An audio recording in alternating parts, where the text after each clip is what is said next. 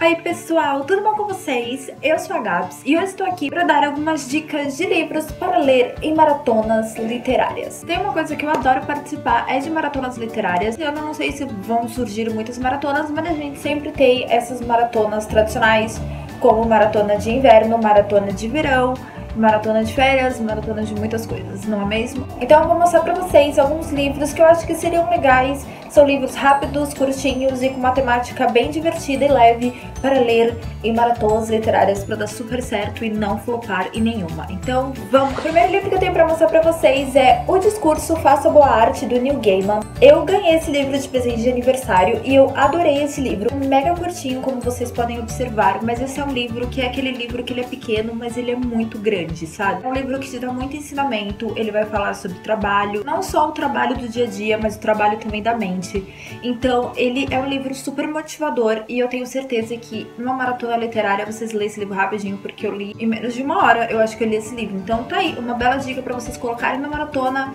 e não floparem de jeito nenhum. O próximo livro que eu tenho pra mostrar pra vocês é As Vantagens de Ser Invisível, do Steven Chbosky. Não sei se é assim que fala, mas agora vai ser assim. Esse é um livro muito fofo. Eu acho que eu nunca falei muito dele aqui no canal, mas esse é um livro muito legal e eu adoro esse livro. Eu também vi o filme e eu gostei bastante do filme. A gente vai conhecer a história de Charlie, que está passando por algumas dificuldades na vida dele, que ele com certeza vai conhecer esses dois amigos que são maravilhosos na vida dele e ele vai começar a perceber o quanto é importante o poder da amizade, quanto isso pode mudar e nos fazer enfrentar muitas coisas da nossa vida.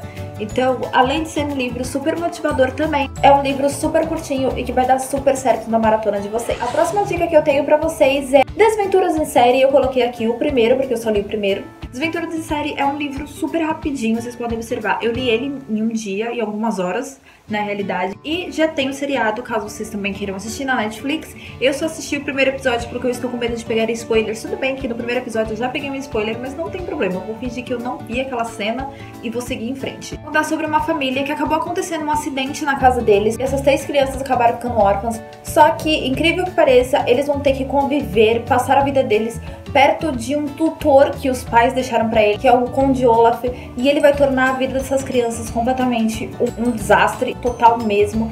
E é uma história muito engraçada, na realidade eu achei ela bem divertida, é uma história que super leve, passa rapidinho. Eu me diverti tanto lendo esse livro que eu não vejo a hora de comprar os outros para poder gostar tanto quanto eu gostei dele. Super cairia bem numa maratona literária, tenho certeza. O livro que eu tenho pra mostrar pra vocês é A Menina que Colecionava Borboletas, da Bruna Vieira. Eu não sei se vocês gostam da Bruna Vieira, mas eu sou apaixonada pela Bruna Vieira. Quando eu comecei minha vida de leitora, eu lia muitos livros da Bruna Vieira, eu tenho acho que todos tirando a nova HQ que saiu e o último livro, Trilogia de Volta aos 15. Eu não sei se já saiu esse livro, mas eu pretendo ler porque é um romance, mas eu gostei muito da história. E A Menina Colecionava Borboletas são crônicas da Bruna. Vou contar que esse livro, ele é muito lindo de quando ela foi morar em São Paulo, como ela enfrentou muitas coisas na vida dela. Também é um livro todo ilustradinho e, sério, dá pra você ler esse livro super rápido. Então, eu super recomendo pra vocês. E esse livro aqui, ó, ele está autografado pela Bruna tarde de autógrafos dela, que eu queria conhecer a Bruna, e ela é muito fofa, gente, ela é muito encantadora. Eu acho que super combina, pelo menos em maratonas literárias,